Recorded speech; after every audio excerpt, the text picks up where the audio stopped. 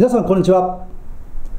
私セールスアソシエイツの横山です。企業の現場に入って目標を絶対達成させるコンサルタントとして、え、これまで15年ぐらい現場に入って活動しています、え、書籍はですねこれまで16冊出していますし、え、コラムリストとしては12年ぐらいやっていますかね。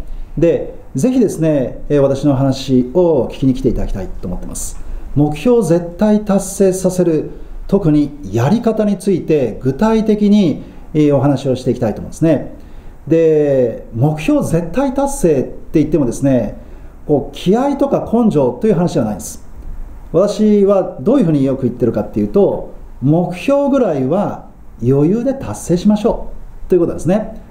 余裕で最低でも目標を達成させるためにはどうすればいいのか。